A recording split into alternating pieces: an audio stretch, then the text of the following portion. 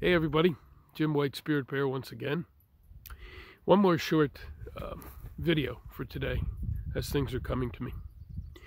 You've heard me talking a lot about masculine and feminine connecting over the last few years or longer.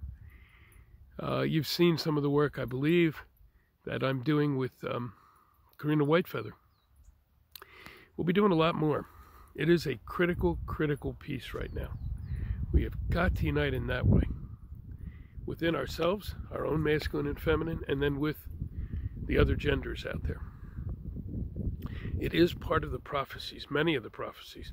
Uh, certainly the Native American prophecies I'm aware of. Also some of the indigenous prophecies from other parts of the world I'm aware of. Uh, I've been taught some from African cultures, very, very similar.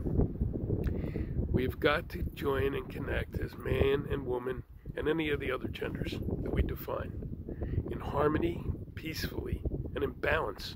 Something we've never done. The prophecies tell us this is the fifth or sixth earth we're heading into. And we're obviously in a, in a birthing stage right now. If you haven't looked out there, it could be pretty painful. I'm sure they all, you all have. Um, so one of the big things in the prophecies is, in the past, in each of these earths, either the men or the women were in control, and each one failed. The men are in control of this one, uh, and what a dismal failure this is. We need to have that stepping up. When White Feather talks and sings, you'll hear that energy. Stay tuned for more of that. We're going to be creating a lot, and we want you to join us on that part of the journey and help spread the word.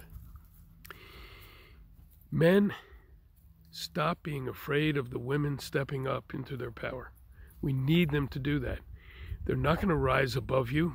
This is about equality. They have to rise up. We have to tone it down. Then we're back in balance. Women, you need to get rid of the anger you may have. It's understandable. It's not going to help. Again, we need to get in balance. And I know some wonderful women who have been teaching me that. We have to release our baggage too. So once we can do that, we can start connecting in true unconditional love. Something that's taken me whew, most of my life to begin to understand. Not an easy concept for me, including of myself.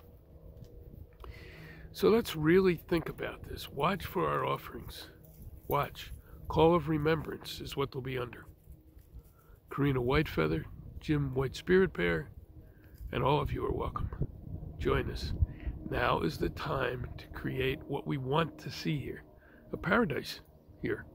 We're told we can do it if we have the guts.